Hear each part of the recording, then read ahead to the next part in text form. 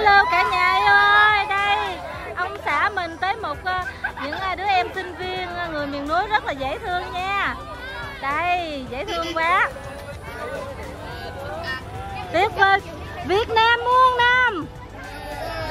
Muôn năm. Beautiful. Việt Nam mãi đến. Yeah. dễ thương quá. Quá.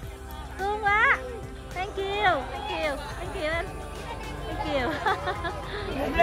who, who want to learn English who want to learn English put the hand up yes rồi ok có gì uh, everyone please gọi chị we sit down in the room. ngồi xuống mình học tiếng Anh ok? English ngồi xuống đấy là chị nói là khi mà bé này dễ thương quá bé này đẹp gái dễ thương quá. Khi nào mà muốn học á chị về bển rồi ha cái tụi em có computer đó. Ngồi xuống là mới dạy tiếng Anh cho ảnh. Ảnh dạy cho tụi em chị chị không dịch. Ảnh dạy tại cái giọng nữa quá để biết làm sao không? Trường nữa mình chưa ok. Ok. Ok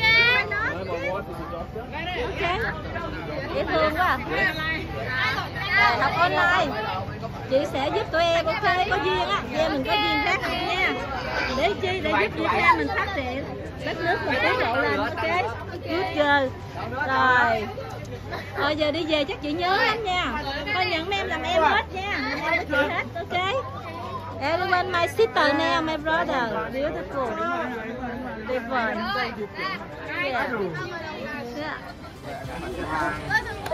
Okay. Mấy em đang học lớp mấy? Lớp mấy? Lớp 9 à. Còn năm lớp 1 cố gắng học luôn nha. anh Tây Ba Làng Good. anh Tây Ba Sảng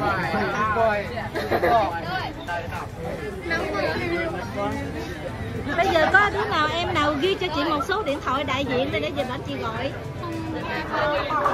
Rồi, bây giờ không sao đâu, không sao đâu, tụi mình không biết. No problem. Chuyện nhỏ. Tại vì mình Bà vô đi con. Ok. Rồi tạm biệt, đừng có buồn nha. Chúc em ngày mới vui vẻ nha, không sao. Ok, ráng học. Bye bye nha, bye bye cưng, bye cưng nha, giỏi. Bye bye, dễ thương quá. Không sao đâu cô này chút không sao đâu em. Bye bye.